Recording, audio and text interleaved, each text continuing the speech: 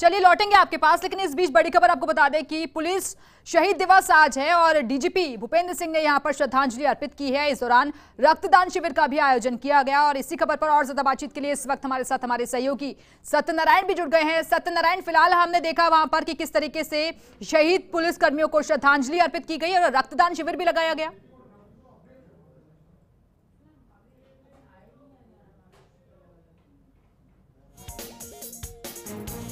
आवाज़ मिल रही है आपको, सत्यनारायण? चलिए, एक बार फिर से जुड़ने की कोशिश करेंगे। तो पुलिस शहीद दिवस आज है और डीजीपी भूपेंद्र सिंह ने यहाँ श्रद्धांजलि अर्पित की है। आरपीए स्थित शहीद स्मारक पर एक कार्यक्रम का आयोजन रखा गया था, जहाँ रक्तदान शिविर भी लगाया गया।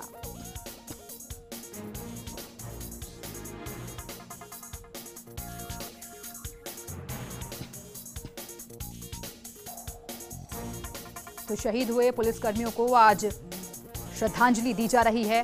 उनके किए गए कामों को सराहा जा रहा है और इस वक्त हमारे साथ हमारे सहयोगी सत्यनारायण शर्मा एक बार फिर से जुड़ गए हैं। सत्यनारायण, हमने देखा कि शहीद पुलिसकर्मियों को आज श्रद्धांजलि दी जा रही है। अलग अलग तरीके के कार्यक्रम हो रहे हैं और जिसमें रक्तदान शिविर भी शामिल है।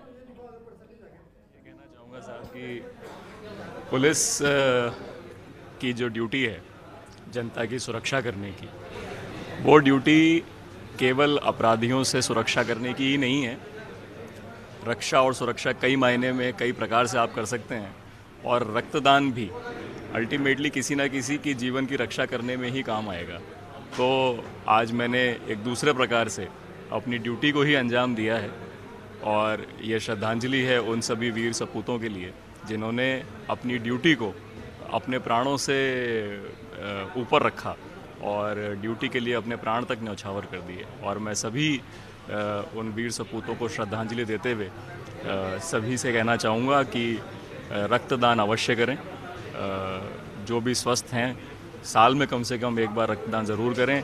यही एक ऐसा डोनेशन है, जो आप जीवित रहते हुए कर सकते हैं बार बार कर सकते हैं और ये एक ऐसी चीज़ है जिसको अभी तक डॉक्टर्स ने या साइंटिस्ट ने लैब में बनाने में सफलता प्राप्त नहीं करी है। यानी ये एक जीवित व्यक्ति के द्वारा ही दिया जा सकता है। तो मेरा सभी से अनुरोध है आपके चैनल के माध्यम से अपील है कि ज़्यादा से ज़्यादा लोग इसमें भाग लें। शहीद दिवस आज और वक्त पर मांग उठती है कि सेना के जो जवान शहीद होते हैं पुलिस के जवान शहीद होते हैं तो पुलिस के जवानों को भी उनकी तरफ़ तरजीह दी जाए। कि ये नीतिगत निर्णय है उच्च अधिकारियों का निर्णय है इसकी मांग उठती रही है, मैं, मुझे विश्वास है, सही स्तर पर इसका परीक्षण हो रहा होगा। और देखिए कोई भी पुलिसकर्मी या सेना का कर्मी जो विभिन्न परिलाभ या दर्जा मिलता है, उसकी वजह से वो अपने प्राणों की आहुति नहीं देता। वो अपनी ड्यूटी, अपने कर्तव्य के प्रति जो निष्ठा है, उसके कारण इतनी बेफिक्री में अपनी ड्यूटी करता है कि उसे अपने प्राणों का ध्यान भी नहीं रहता। जो उसको रिकग्निशन मिलना है, वो उसमें ऐसा नहीं है कि पहले के मुकाबले और बेहतर चीज़ें, सुविधाएँ उनके परिवारों को मिलने लगी हैं और मैं, मेरा मानना है कि भविष्य में इसमें और वृद्धि होगी।